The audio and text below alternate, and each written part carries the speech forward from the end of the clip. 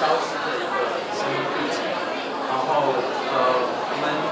我这个故事其实会想要从台中的这个铁道开始说起。呃，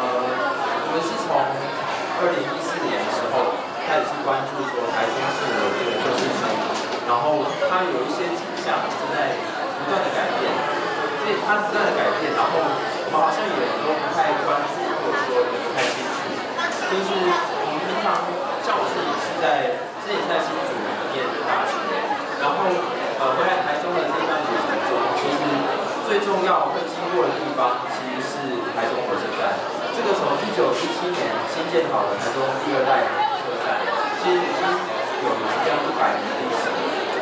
它在我们在呃大概十来年前，在我念高中的时候，呃台中铁路正在进行高架化的工程，然后呃车站后面的一些地景就是不断的在改变。包括说高中的时候，我其实会走过呃车站旁边的地下道，然后走到后门车站去。然后就会看到二十号仓库，那当时对我来说其实是一个相当梦幻的一个地方。我会看到说车站后面原来有这样子一个有老的树、老的仓库去改变成一个艺术空间，然后有许多的艺术驻村，还有许多艺术家在那边。然后就算我没有我没有办法去参与到二十号仓库那样子的一个大家很多艺术家去创作的一个场景，其实我会感觉到说，哎，那个空间其实是很有感觉的。因为老的东西或一个有生活感觉的地方，其实对我来说是一个很新鲜的一个行业。我从来没有想象过说，过去曾经是呃去运输很多铁路的呃这些物产的放那样子东西的仓库，他居然可以变成这样一个围绕的。那个时候是在看这件事情，但是到了大学之后，这样的景象开始逐渐出现。铁路高架化，它其实是造成的说，呃，我们这边一整片的，可能在铁路周遭的一些土地，正在进行大规模的一些开发。台铁开始思考说，那些旧的宿舍和仓库，它到底要该如何去处理它？要是不是要去做其他的开发，甚至盖成或者大楼，对于他们本身的一些物业的管理是比较有利的一个方式。台铁一向都没有很重视说，过去。那些有时间堆叠什么东西，是不是很有价值？其实对台北本身有价值，对这个城市来讲很有价值。所以那个时候，呃，我们就开始思考说，是不是能够为这个城市留下一些什么东西？发现说这些地址在不断的改变，然后我们就开始去查询一些资料，然后发现说，其实原来车站的设置跟一百年前台中在做都市计划的时候，其实是很有关系的。台中在日本人在一八九九年的时候开始对台中这个城市来进行一些测绘，然后在一九零零年的时候开始了市区就是当时的都市计划。在对于这个城市来讲，这是一个全新的体验。不仅是说台中的市区改正是全台湾第一个市区改正，也是亚洲第一个做都市计划的地方。其实那样子的一个非常新鲜的体验，在从一九零零年的时候开始，在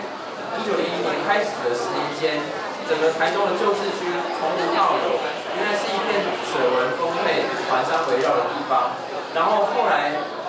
但是那个时候是一片荒芜，而且没有太多人居住的地方，在那十年间成为了一个现代化的都市。包括说我们现在走在民权路上，我们看到市一所、沙洲街，那都是大概在一九一零年代左右的一个产物。也包括我们现在看到的台中火车站，以及。现在，过去在呃几十年来，每在以行动的这个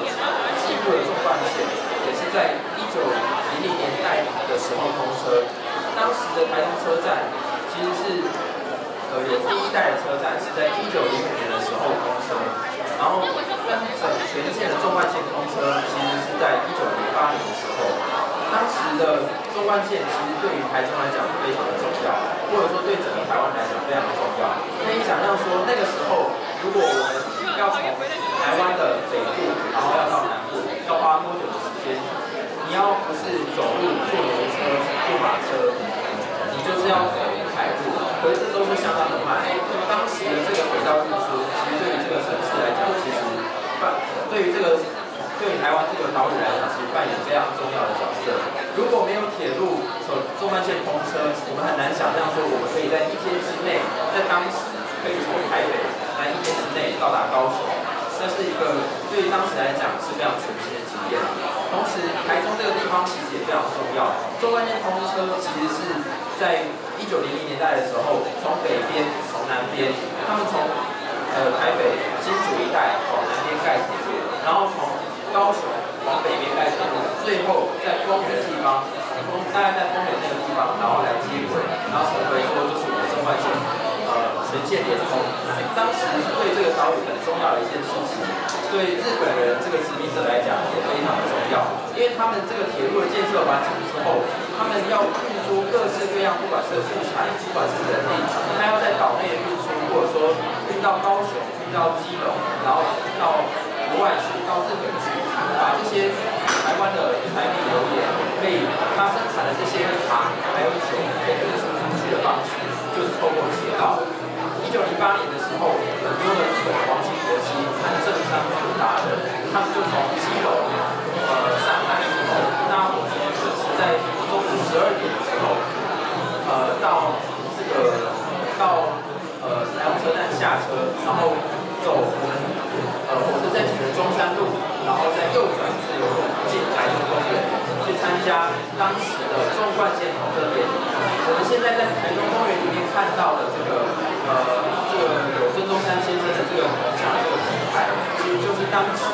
进行这个纵贯线通车典礼的举行的会场。现在已经不复存在，当时有大家许多的一个骨架，也是一个非常正式的典礼。我们现在看到的湖心亭，就是当时候。呃，举行举行纵贯线通车典礼这些参加者，他们在休息的一个地方。当时对于台中这个城市来讲，铁路的通车是一个非常重要的时间点。如果没有铁路的通车，我们也很难想象台中这个城市会像现在这样繁荣。许多的日本的商店街是在前车站的前面的地方去设置。当时前面日呃车站前站的地方是一个非常繁荣和富裕的商店街。而后站呢是有许多汉人士绅所经营的许多的呃呃蔬果的组合会社，因为铁路的关系，所以许多在中彰头一带的这个蔬果，他们会借由台中车站的，他们会借由像是五分车这样子的呃这样行业的铁路，然后将南投、富丰那一带的许多的物产，然后运输到台中车站这边来。包括说我们现在看到的呃台中的帝国糖厂。也就在后车站的地方，因为一些一些开发的方式有点奇怪了，所以现在变成一个很大的湖泊。但是在过去，那是一整片都是糖厂的地方，但现在没有了位置。那候车站其实是这样一个物产空调的地方。包括说像在酒厂，我们现在看到过了，如果从后火车站出来，过了台中路之后，我会在复兴路的左手边看到糖厂。那当时其实是一个这样的。呃，也是非常重要的制造这些物产的一个工厂。那铁道呢，对于这个城市来讲，其实是一个难以磨灭而且重要的一个地方。不只是我们可以看到它有非常有趣的一个地址，它在声音上我也会听到。因为我们平常有生活在铁道边，或至少经过铁道边，我们会听到跟其他城市并不相同的这样的声音。当时台中车站其实是一个非常低洼的地方，在一九零零年代的时候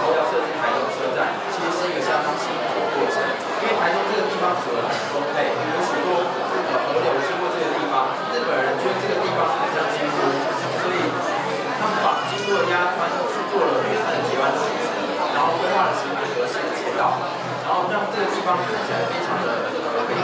它有一个经过了辐射在这边。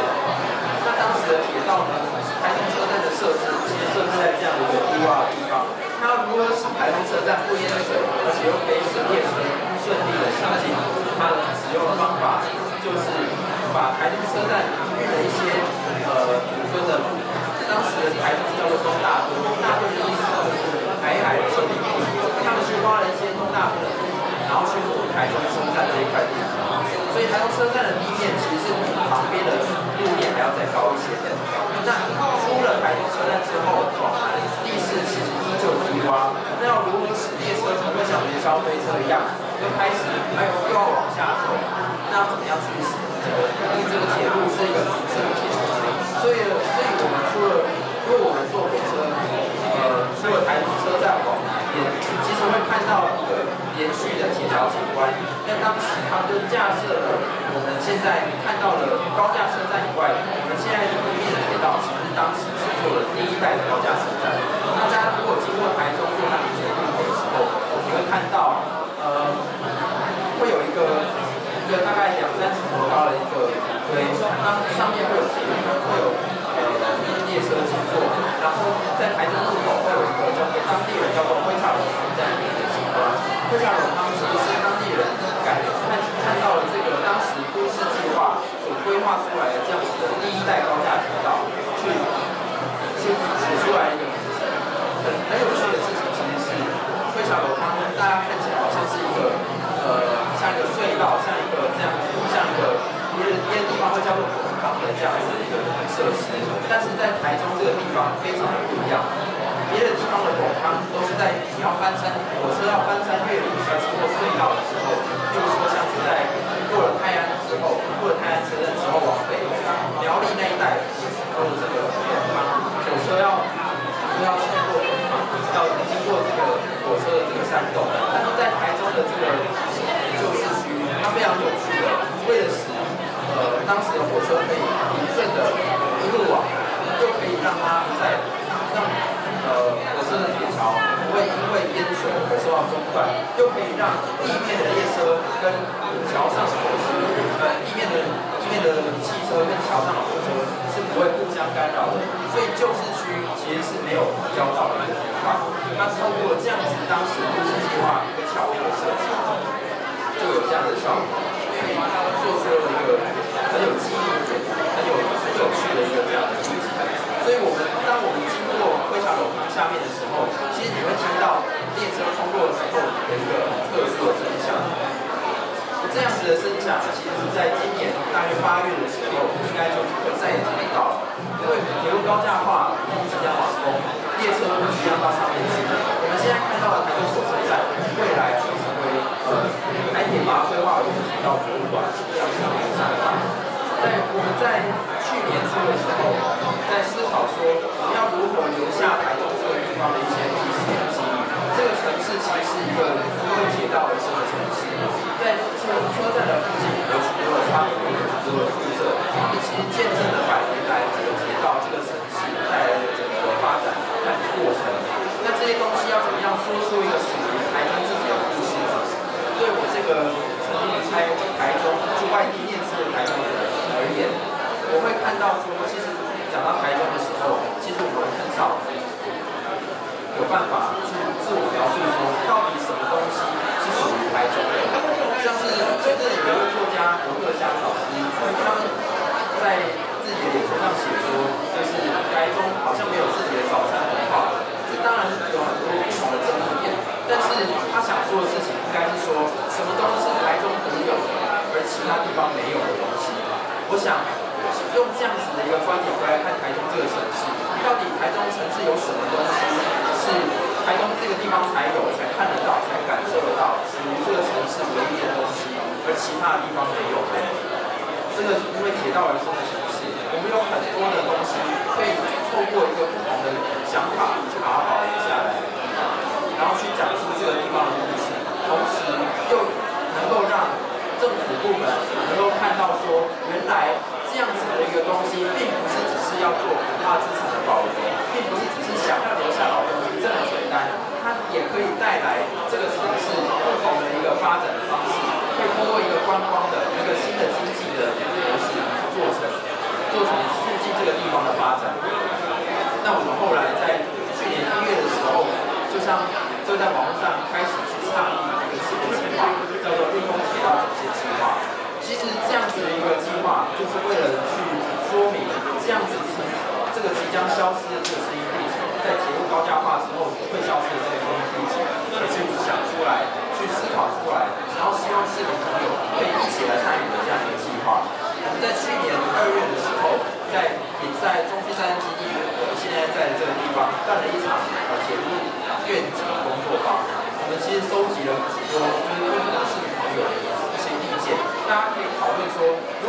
高架铁路完工之后，列车走到高架铁道上面去之后，那我们这个目前的地面的铁道到底可以怎么样去利用它？它可以发挥怎样的效果？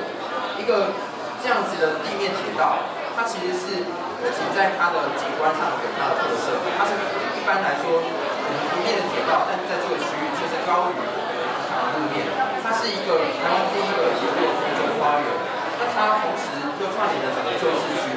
过去我们常常在谈中区再生，中区再生只谈火车站前面的这个区块。我们看到说火车站前面这个区块，过去刚刚讲到曾经是日本的商店街，曾经是非常繁荣的地方。但是大家都遗忘了候车站，遗忘了过去有酒厂、有糖厂，然后曾经有许多汉人士绅住在候车站，包括呃我们最近也在推天外天炮车的一些议题，其实都在候车站，在新增那这个地方。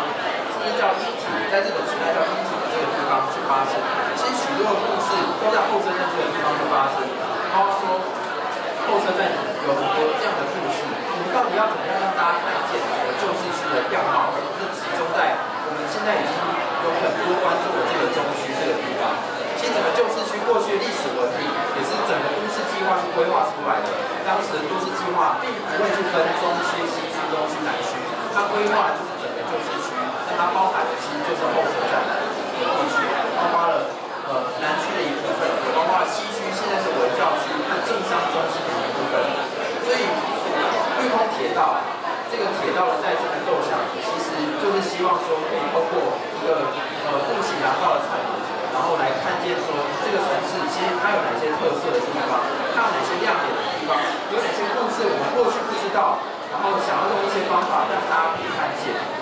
我们其实是希望可以去做这件事情，然后让这个城市。有一些更不一样的地方。最重要的事情是，铁路、火车站这些我们平常要离开这个城市，要在这个城市。里面穿梭，我们都会去经过的这样子一个重要的节点。我们其实对这个地方是有很多记忆的。那对于这个地地方的改变，过去在做铁路高架化的时候，中央政府并没有真正告诉我们说，这个铁路到底未来会长什么样子。是我们并不知道铁路未来要长什么样子，我们不知道。我们的这个倡议其实也是希望让更多的市民朋友可以来参加，可以来参与。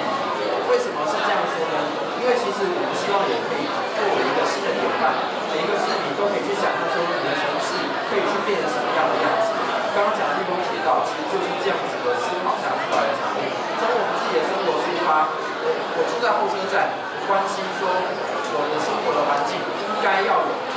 认同感的复兴。我们要知道自己是谁，我们要知道台中自己是谁，我要知道后车在有怎样的故事，那它要如何被发挥出来？我希望可以透过这样的方式，让每个人都可以去想象自己的城市。那铁路最后，今年八月之后，呃呃，火车将不会在现在的地面车地面的铁道上行走。其实，在在这个时候，我们会看到一个不一样的台中的景观。